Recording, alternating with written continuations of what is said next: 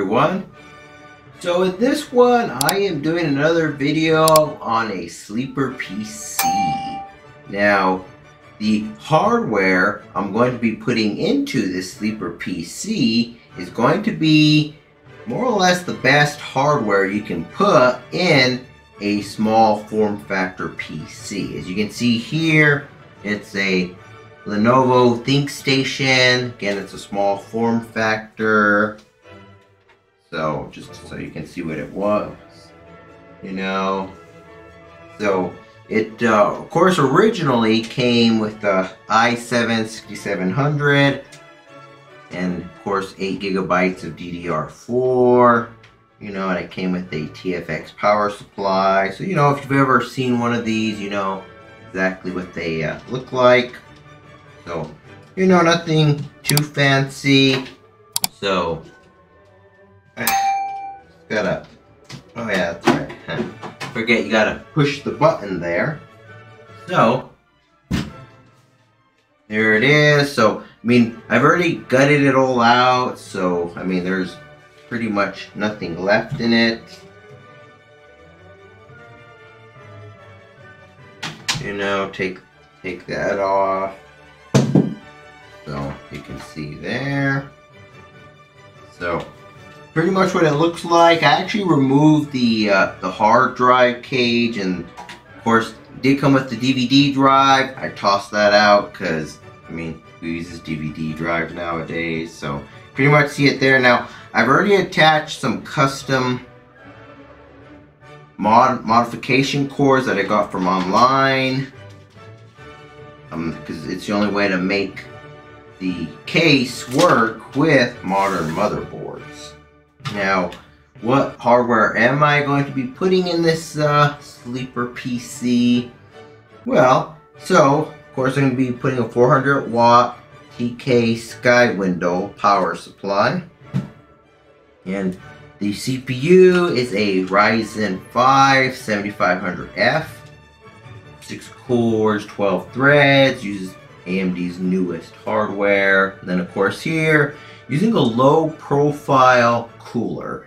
It's a 5 pin CPU cooler, heat spreader, so it will cool the Ryzen 5 7500F no problem. And then of course, the graphics card that's going to go in there, of course, is the RTX 4060, the low profile version. So this, this sucker definitely was expensive. And then, of course, you know, here's the motherboard, A620. Then, of course, 52 megahertz of DDR5 memory. And then, of course, good old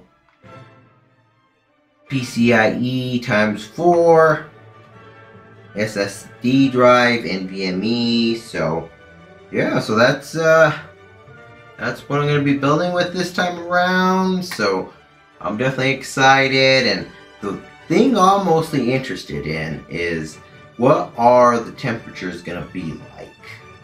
Because I mean, again, small form factors do get hot, so I'm hoping that, of course, the uh, CPU cooler that I got will keep it very cool, but I'm definitely going to find out. And, um, of course, thanks to the power of video editing, you're going to see the complete build in three, two, one. Uh, so here's the completed build of the PC. So as you can see, the front, I put in a cover on the, uh, the drive here. You can see it pretty much looks the same from the outside there. Now, of course, here's the back. So you can see that definitely has the the AM5 motherboard that I showed you, and right there, there's the, uh, the 4060, and then of course, there's the power supply that you saw me uh, in the box. I mean, I didn't take it out, but I mean, once I open up the case, I mean, you're definitely gonna get a better view of uh, what it looks like. So, take those off, and then thing with these Lenovo's, right, is you gotta push the button, right, in order to open it. Alright. there we go. Put that right there. Now, as you can see, here's the inside of the case. Now, of course, see there's the power supply. Then, of course, there's the uh, the cooler, the low profile cooler from Thermalright. Then, of course, the DDR5. Then, of course, there it is. I mean, you can definitely see there's not a whole lot of clearance there. And then, of course, there's the uh, the M2, one terabyte, and then, you know, it's a Be Quiet 92 millimeter fan that's here in the front. Now, of course, I know the wiring job isn't the uh, isn't the greatest in the world, but gotta keep in mind. I mean, it's a small form-factor case, so I mean, not a whole lot you can do, not a whole lot to work with, and when I think about it, I I really could have left the uh, the cage that was uh, in here originally. In fact, it probably would have been better because it would have hidden away actually a lot of the uh, the wiring here. But overall, I mean, it looks looks good. But you know, like I said earlier in the video, of course, my main concerns are the thermals, right? Like how hot is the video card going to get? How hot is the CPU going to get? Especially, you know, once, uh, you know, I put the cover back on. So, let's go ahead and uh, I'm going to just take a look at two popular games. And let's just see what the uh, temperatures and the FPS is like gaming in the small form factor case.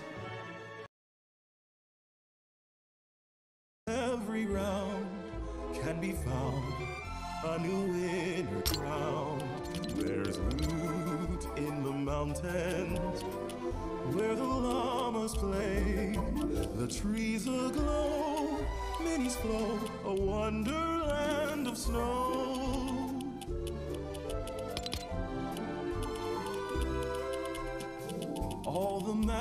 Free, piled as high as a tree. Let's break out.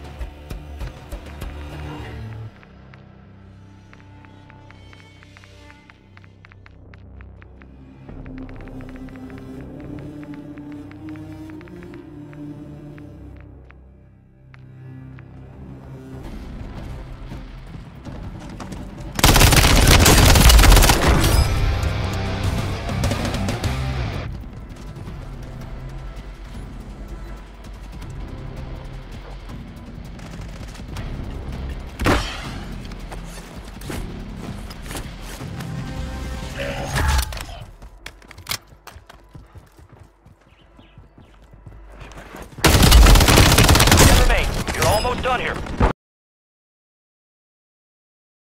Alright, so now that we've taken a look at what the uh, FPS, the temperatures, and all that good stuff is, and you know, of course, the two games we looked at was Fortnite and, of course, the uh, Warzone Modern Warfare 3 version, and you definitely could see in that gameplay footage, the uh, the case definitely got extremely hot. I mean, the uh, graphics card was getting between 85 and like almost 90 degrees, really. I mean, if you round it up. So I'm gonna say that uh, based on that, I definitely wouldn't recommend putting a 4060 in a solid case like this. In fact, I would almost say putting it in any small form factor case without proper ventilation is a bad idea because the 4060 i mean it performed just like a 4060 did i mean if you want to see just how well it performs of course you can check out my video that you know goes into more details on the rtx 4060 i mean it definitely performed exactly the same as that video. I mean, Fortnite and Warzone, no difference at all as far as what settings and how I played it. But uh, I mean, again, um, the GPU was just getting really hot.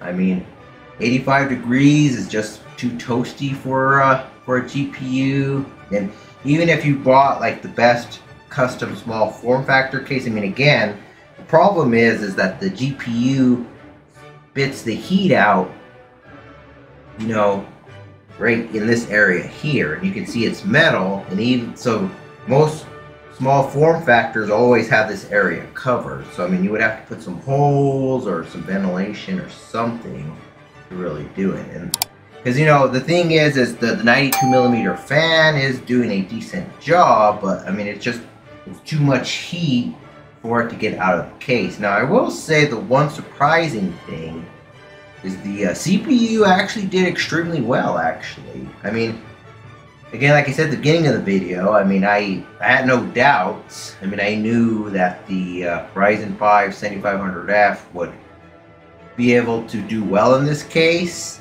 I mean, you can see that the temperatures with the CPU were just fine. So, I mean, CPU was great. Um, it's just, again, it's just the uh, the GPU that, yeah. I mean, again, small form factor small form factor cases, you know, really are designed for low power GPU. So even though the 4060 can fit in one, yeah, I mean, just wouldn't recommend it. I mean, I know there's the RTX A2000 card that's a blower card, and it's a blower card for a good reason because blower cards will suck the cold air in and then spit it out the back, which is exactly what you want. And unfortunately, the 4060 doesn't have that ability. But overall, I mean, could you game in a case like this?